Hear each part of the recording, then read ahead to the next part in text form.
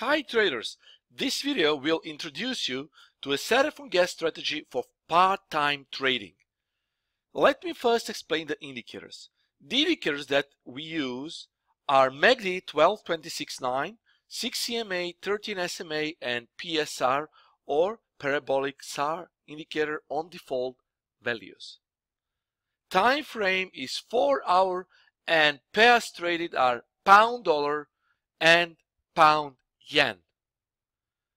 Long entries are made when 6 EMA crosses above 13 SMA, MAC histogram turns green, PSR dot below the candle, and that will be the signal for your long entry. Let me explain how it looks on the chart itself. In this example, we can see that our long entry has been triggered here. 6 EMA crossed above 13 SMA, 6 is blue, 13 is red, and MACD histogram is green. You can see that the long entry has been initiated here. Our stop loss goes below this candle. I will explain about about about the stop loss. But uh, the primary rule is it goes below the candle if you're going long or 70 pips maximum. Okay, that is the maximum stop loss 70 pips.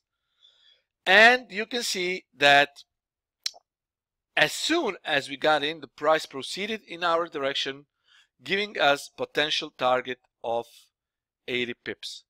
So first, I will explain the entries, and then I will go with stop losses and targets. So this is our long entry. Here, another example, we can see a long entry that has been initiated here. Okay, and but guys, when you see a kind of gap like this, you don't trade. You actually want to trade when there is no gap. And here we had a gap that was subsequently closed. So when gap closes, the rule can be also that you can enter the market if signal still exists, as in this example. Okay. Uh, another long entry was uh, initiated here. Okay. And you can see that uh, all our entries here were profitable. Okay. So this is about long entries. Now let me explain the stop loss and targets.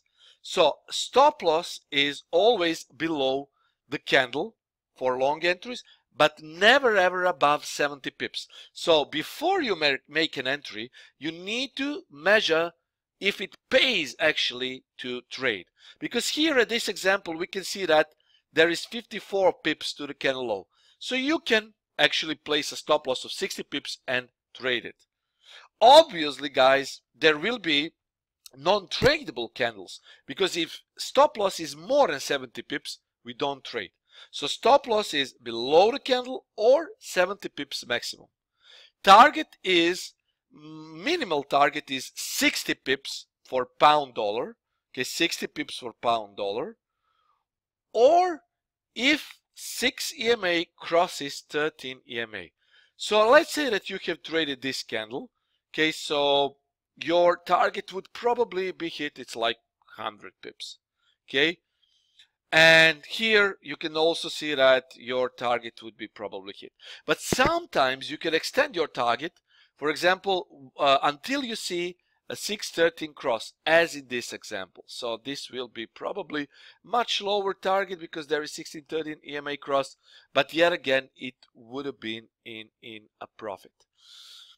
Uh, for pound yen situation is a bit different. Let me show you. A little bit different, not much. So still the same. 4 hour chart and when 6 EMA cross 13 EMA you open a trade if you have also MACD pointing to the north side by showing a green histogram. So this is your long entry, okay? Stop loss, the same as for pound dollar, but maximum stop loss for pound yen is 90 pips, guys. Not 70, it's 90. So stop loss could have been here, you see? Just below this, like 80, 85 to 90 pips maximum and target is minimum target is 80 pips. So 80 pips is the minimum target.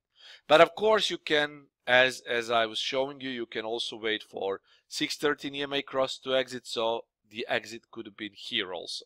So this strategy, I think guys, you should try the strategy because the strategy is suitable for part-time traders who don't have the time to actually look for charts. Short entries are also, those follow the same rules, just we need uh, cross to the opposite side and red histogram. So for this example, short entry would have been initiated here.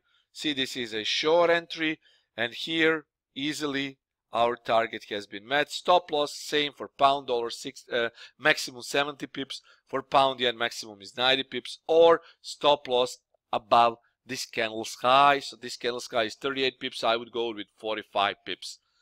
Okay, so this is, or you can always use maximum stop loss for pound dollar 70 for pound yen 90 pips. So we call it a dead stop. So maximum stop loss is a called a dead stop.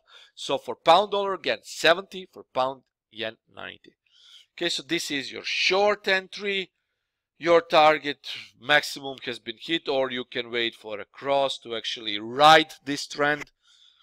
Another another long target is a long entry is actually here.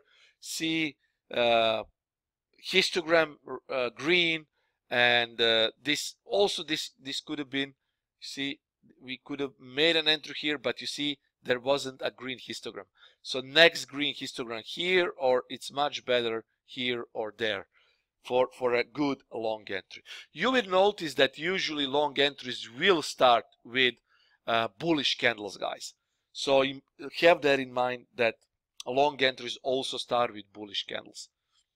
For short entry let's use other example for short entry. This is you can test your your entries as I do here. See this is your short entry here okay do we have another short entry another short entry? Yes we have another short entry here. See it's pretty much simple. You don't have anything to worry about. If you are if you are working on your day job your boss will not see you doing this. So actually you just open your position and uh, you, it's either uh, stop loss or target price or sometimes guys there is also a trick if you have the time if your boss isn't so keen to watch you what you do on your day job you can actually uh, use profit stops so every four hour when candle closes for example, you just need to move your stop loss. Let's say that this is our entry and four hour candle close next, let's say four hour candle close here. So you just move your stop loss here, little bit up before the candle close, just a little bit more to the upside. So you are effectively riding a free ride and you will be securing your profits. Same for long entries. Let's say that you have made your long entry here and this four hour candle gave you profits. So when this four hour candle close, so you just need to pay attention once in four hour. So when it closes, you just move your stop loss slightly below the close and you are effectively riding a free ride.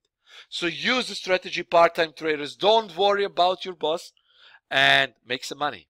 If you have any questions about this strategy, feel free to ask me.